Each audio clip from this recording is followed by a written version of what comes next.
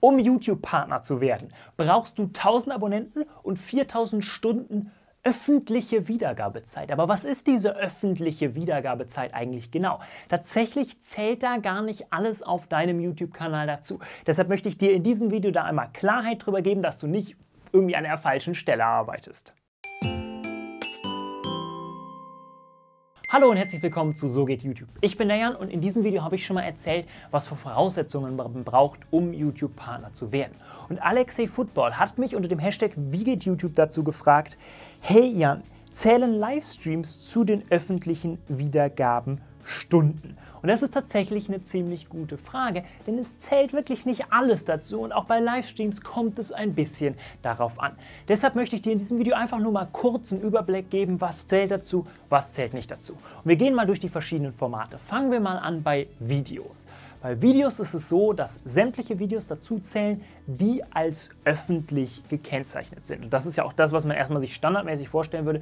Ein ganz normales YouTube-Video, was von den verschiedenen Einstellungen auf öffentlich ist. Die anderen beiden Einstellungsoptionen zählen nicht dazu. Das heißt, wenn du nicht gelistete Videos oder private Videos hast, dann zählen diese nicht zu der Watchtime dazu. Und natürlich auch, wenn du ein Video hast, was mal Watchtime generiert hat, du das dann aber löschst komplett von YouTube, dann zählt es auch nicht mehr zu dieser Statistik dazu.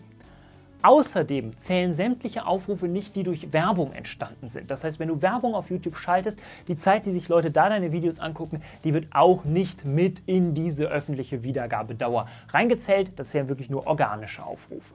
Bei Livestreams ist es tatsächlich so, dass nur die Livestreams dazu zählen, die in Video-on-Demand-Videos umgewandelt wurden. Das heißt, wenn du einen Livestream hast und du machst einfach diesen Livestream, aber danach ist der nicht mehr auf YouTube verfügbar, dann zählt er auch nicht in diese Watchtime mit rein. Also das, was dann während des Livestreams sich angeguckt werde, zählt nicht als diese Watchtime. Wenn du den Livestream allerdings öffentlich verfügbar machst und er ist dann öffentlich auf YouTube, dann zählt die Zeit mit zu diesem diesen öffentlichen Wiedergabestunden. Bei YouTube Shorts ist das auch noch eine ganz besondere Sache.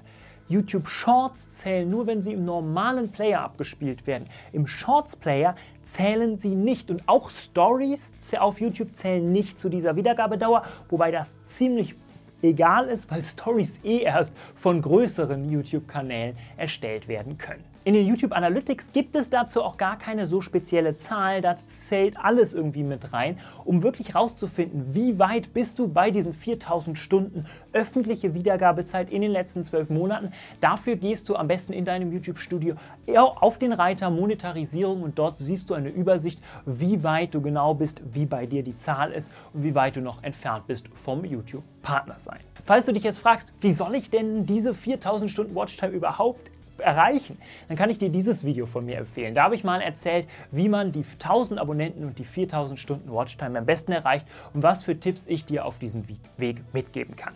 Das war es aber für dieses Video. Ich hoffe, ich konnte dir mit diesem kurzen Tipp weiterhelfen. Das war's von mir. Tschüss, euer Jan.